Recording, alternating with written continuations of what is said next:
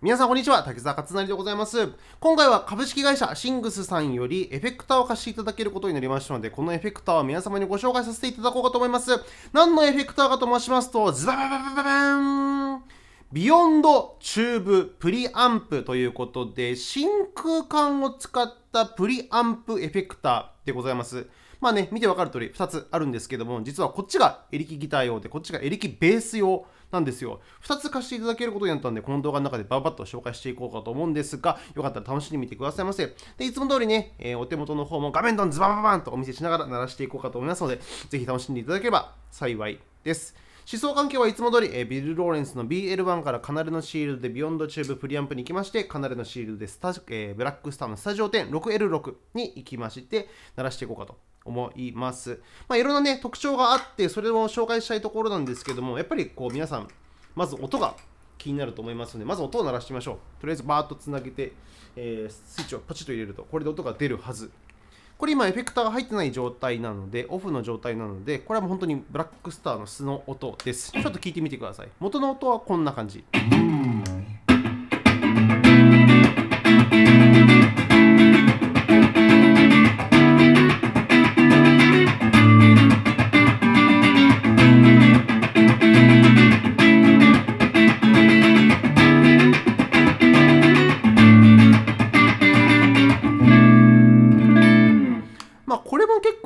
すよね。悪くないというか、というか、このアンプやっぱすごいいいからさ、これだけでも結構いい音するんだ。で、このエフェクターをポチッと入れるとどんな感じになるでしょう。ちなみにオンにすると、ここの LED が光ります。鳴らしてみましょう。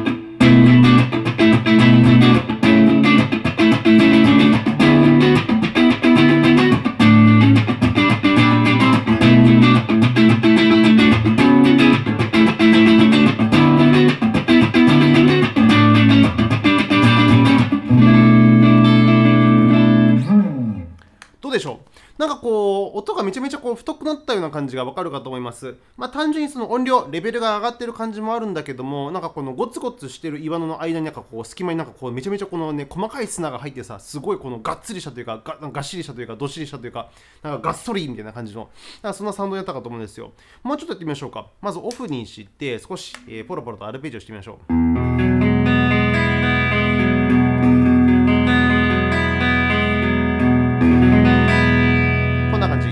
このピッキングをした瞬間のパンチ力みたいにちょっとこの集中して聞いてもらっていいですか？パンチ力。オンにしましょう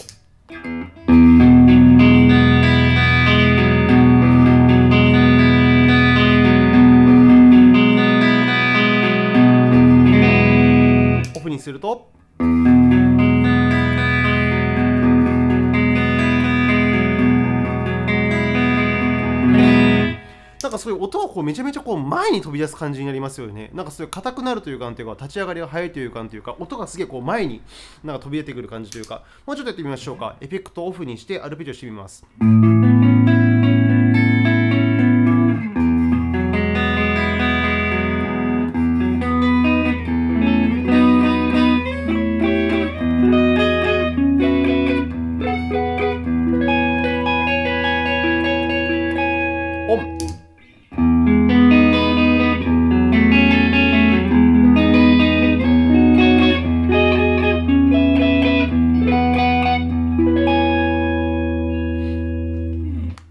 わかります？この音がすごいゴムとになる感じ。ちょっと単音で弾いてみましょう。オフの状態で弾くとするとこんな感じ。まあ、このスタジオテンもね、すごいいいアンプだから、これだけでも結構いい音するんだ。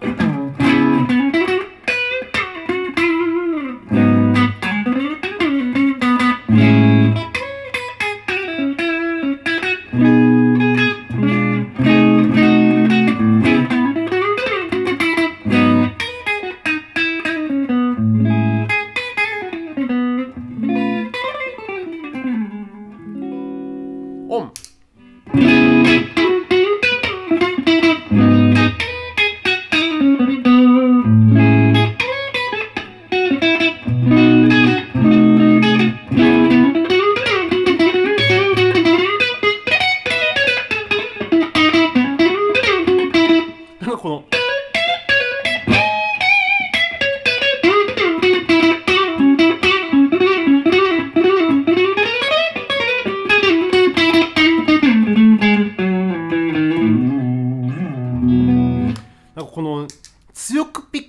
した時のこのえぐみみたいななんかこのうれって感じのこのえぐみみたいなのがすごいなんか飛び出してくるのが分かりますでしょうか？ちょっとオフの状態で少し聞いてみてください。特にこの3弦の音とかね。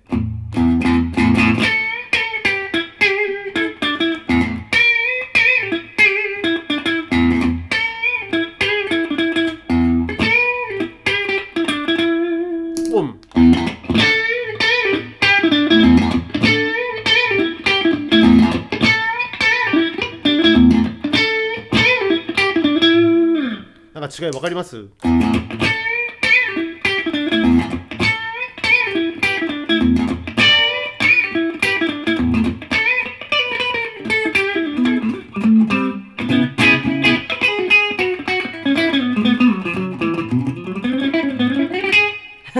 オンにすると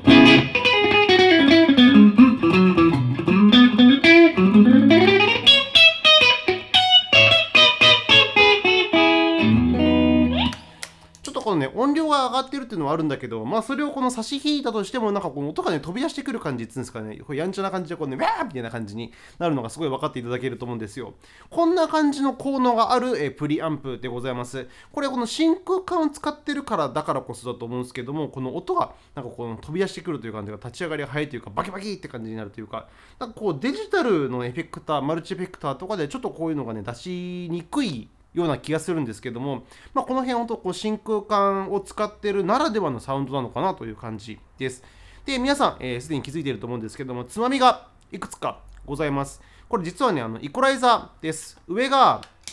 トレブル、あの高音ですね。上げると、ちょっとパキパキになるし、下げると、ちょっとこのモコモコっとする感じ。で意外とこのエフェクターの特徴としてちょっとこうねバキバキでその元気すぎる感じがするんで僕少しこうね下げ目の方が好みかもしれないです。でこの中域に関してはこれを上げると結構箱なり感。が出てきます。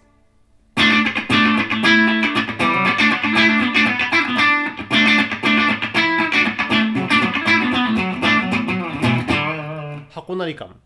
でこの低域はこれをバーッと上げるとこ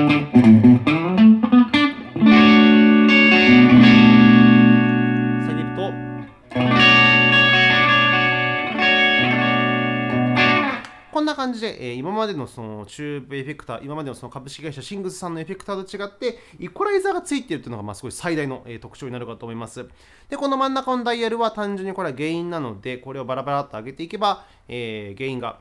足される感じです。ちょっとやってみましょう。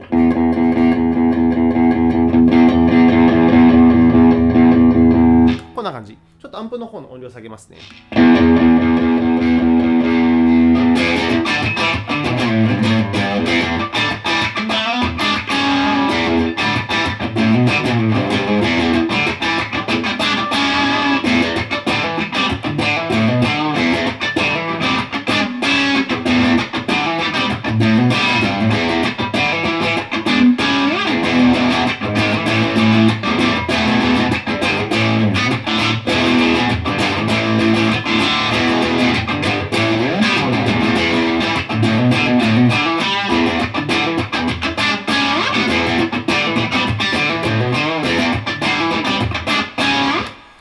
感じです。ゲインをガーッと上げると、まあ、あの歪みが出てくるというような感じでしょうか。で、このイコライザーで好みの音質に調整して、えーまあ、こう鳴らしていくという感じです。で、今までさ、その、なんだろう、このさ、ビヨンドチューブ、これまあ現物なんですけど、ビヨンドチューブブースター、まあ、こういうブースターとかでもこのゲインつまみがあってさ、その別にこういうのでもね、いいんじゃねえかと、何が違うねんとかって思ったりするかもしれないんだけれども、どっちかっていうと、こっちのブースターよりかは、こっちのプリアンプの方が結構原音に近いも様子、なんかニュアンスがあって、で、なおかつ、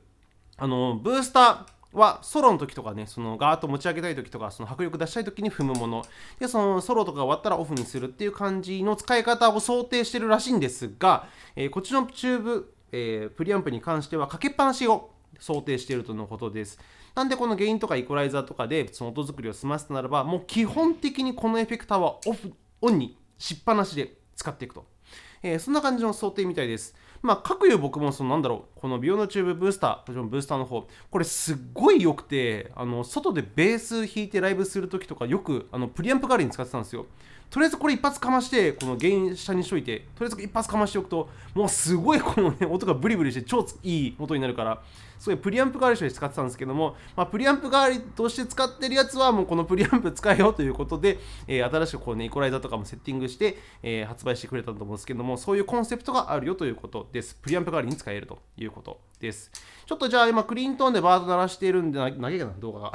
クリーントーンで鳴らしてるんですけれどもちょっとこれも歪ませて鳴らしてみましょうか。ちょっと一回オフにして、スタジオ10の方をゲインマックスにしてみます。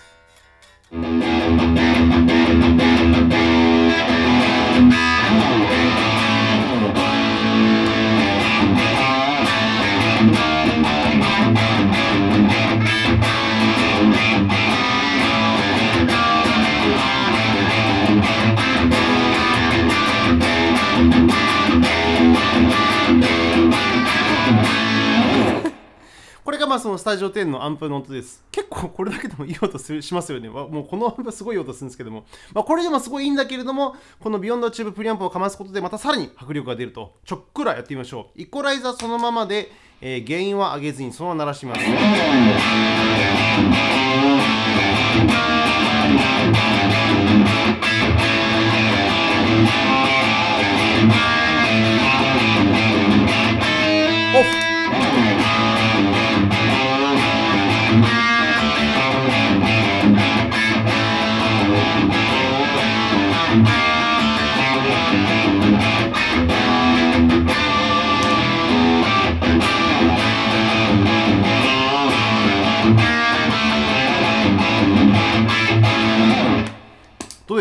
この音がめちゃめちゃこうバーッとこの迫力で出てきたのがなんとなく分かりますでしょうか。でさっきも言った通りちょっとね僕ねこのエフェクターその前に出てくるのはすごくいいんだけれどもちょっとね高音がね結構キンキンするような感じがするんで僕の好みとしてはちょっとこのトレブル削ってミッド付け足すぐらいがねすごいねあの音的に好みです。気持ちローもちょっと足していきましょうか。こんな感じ。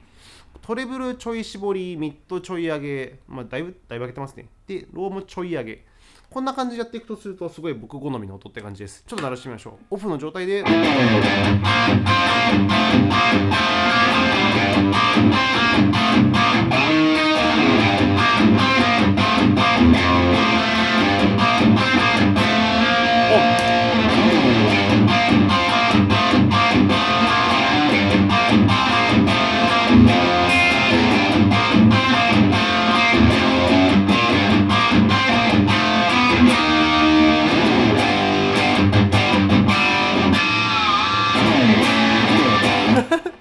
んな感じの音。なんかすごいめちゃめちゃかっこよくなった気がしません？まあ、これだけでも別にいいんだけれども。なこのペットボトルの中にこの大きな石がこのゴツゴツ入っただけの状態がこれ。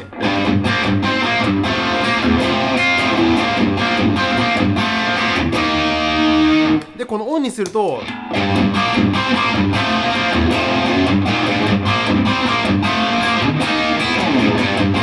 このペットボトルのそのゴツゴツしてる大きな石とか岩とかの合間にこの砂をガーッと入れてこのみっちみちにしたみたいな。ペットボトルみっちみちにしてやりましたよこれでみたいな感じの、えー、イメージがすごくあります。何とかわかりますでしょうか。で今ガンヒ済みしてます。でこのままガンヒ済みさせてみましょう、えー、ゲインマックスでございますよ。ゲインもガーッと上げて。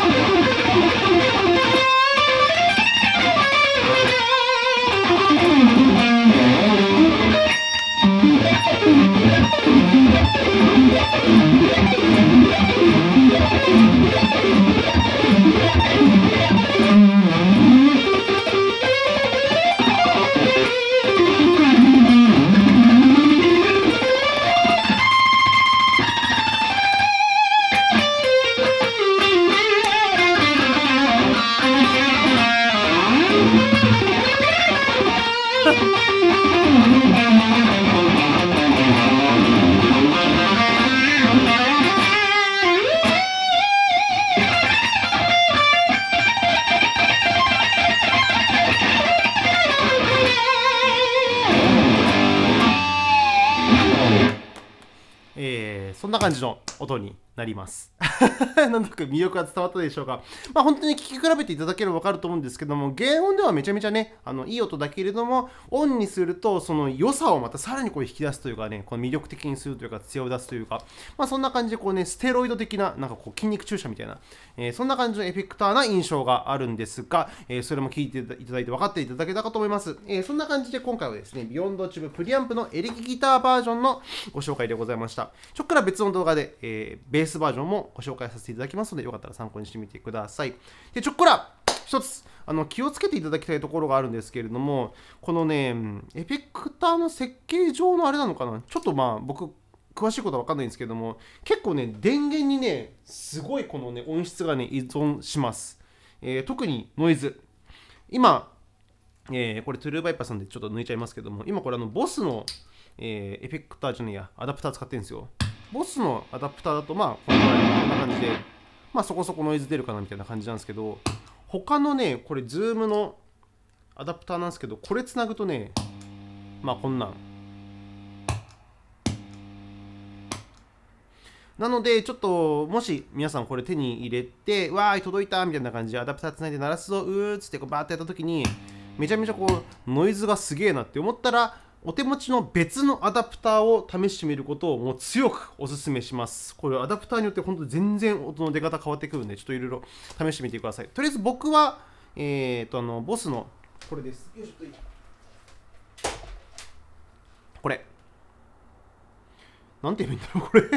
機種とかあるのかな？モデル HKA00509005-2P って書いてあるんですけども、まあ、こんな感じのボスのエフェクター用の、えーあれを使ってるんですけども、これが今のところ僕の中では一番安定している感じでございます。まあ、よし、よければ参考にしてみていただければ幸いでございます。それでは今回の1本目の動画は Beyond Tube プリアンプのギターバージョンのご紹介でございました。次の動画でベースバージョンの方も紹介してみますので、よかったら参考にしてみてくださいませ。それではまた違う動画でお会いいたしましょう。さよなら、バカカイ